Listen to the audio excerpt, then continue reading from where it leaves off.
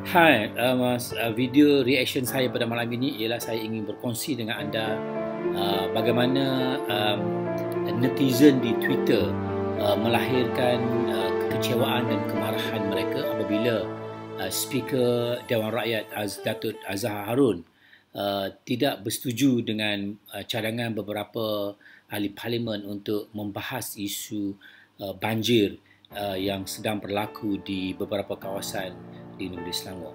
Uh, rata-rata netizen di Twitter uh, seperti saya sebut sebentar tadi melahirkan kekesalan yang amat sangat. Mari kita lihat uh, petikan video semasa persidangan Dewan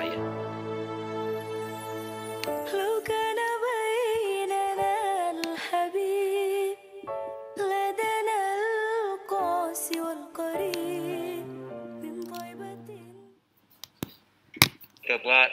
Begitu kita jalankan prosiding parlimen. Kita tak boleh melompat dari satu isu ke satu isu tanpa isu itu berada dalam aturan urusan mesyuarat. Begitu yang kita buat. Begitu kita jalankan prosiding parlimen. Saya tahu.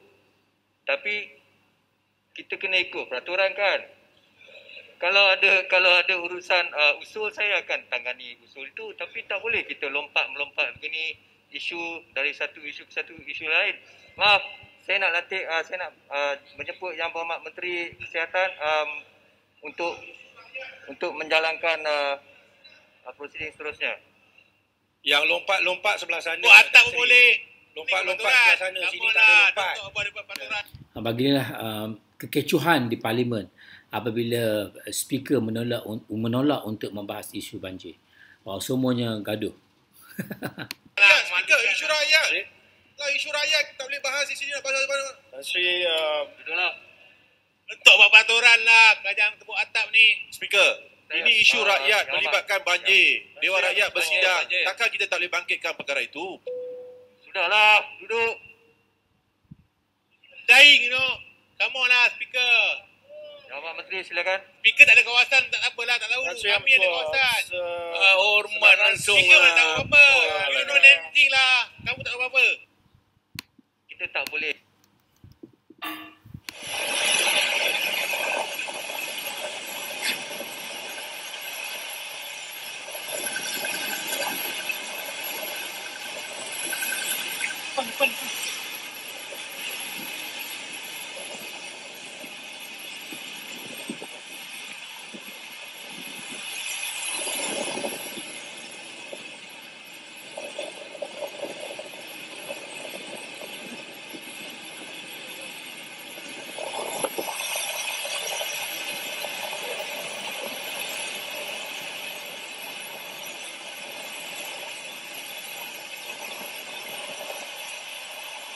Setakat ini seperti dilaporkan di dalam uh, Twitter uh, sudah hampir 41,000 orang telah dipindahkan ke uh, pusat pemulihan banjir.